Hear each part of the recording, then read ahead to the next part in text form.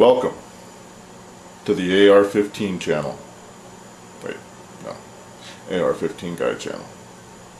Fourth Amendment Tuesday. Wait, no. We're just going to go over the Fourth Amendment.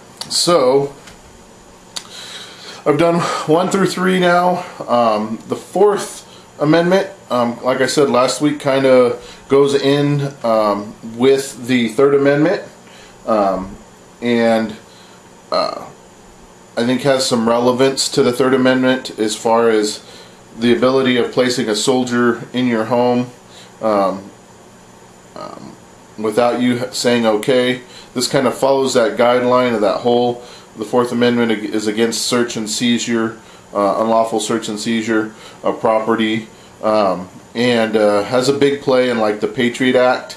Um, so let me go ahead and read um, the Fourth Amendment verbatim um, as I have in the previous ones, and then we'll kind of discuss it from there. So, the right of the people to be secure in their persons, houses, papers, and effects against unreasonable searches and seizures shall not be violated, and no warrants shall issue but upon probable cause supported by oath or affirmation, and particularly describing the place to be searched, and the person or things to be seized. All right, so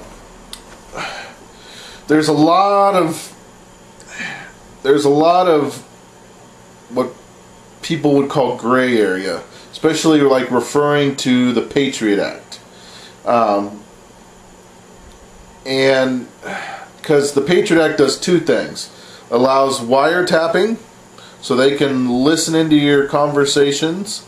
Um, and it also allows the ability for law enforcement to write their own um, search or their own warrants. I believe it's search warrants.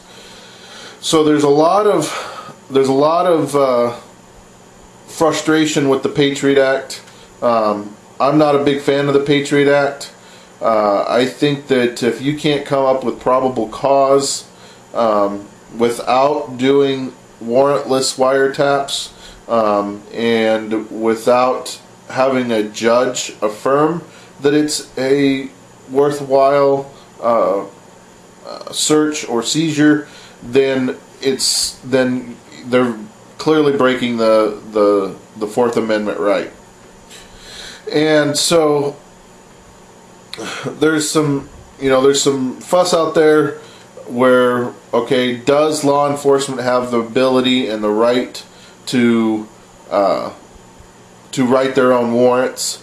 And I don't think they do. I think that uh, a judge takes an oath, and and uh, with that oath is the abil- comes with the responsibility of writing um, uh, warrants based on information provided. Uh, I don't think that a a law enforcement official or homeland security official um, should be able to just uh, oh you know what?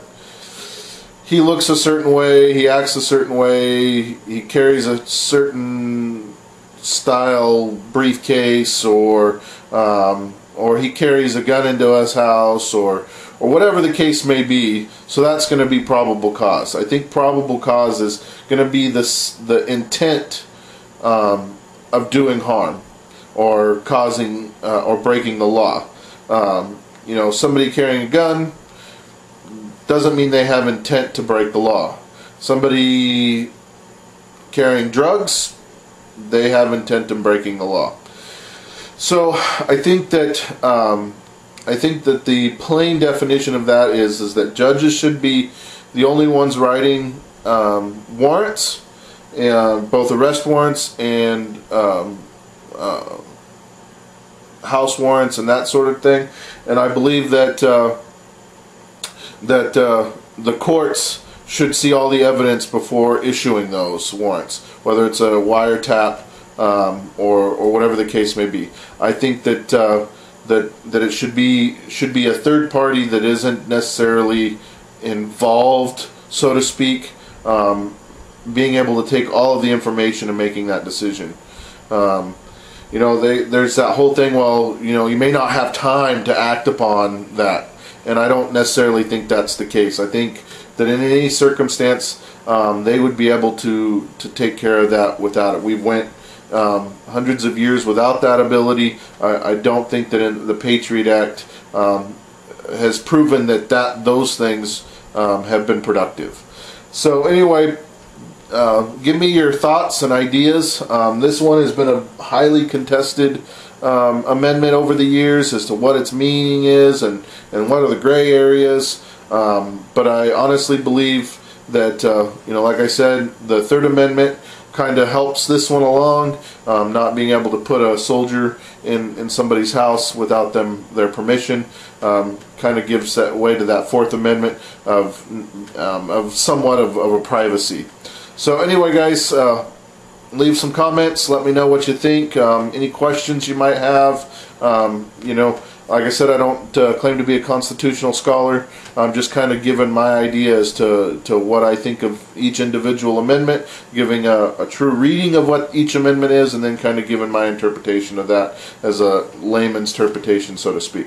So anyway, thanks for watching, guys, and have a great week.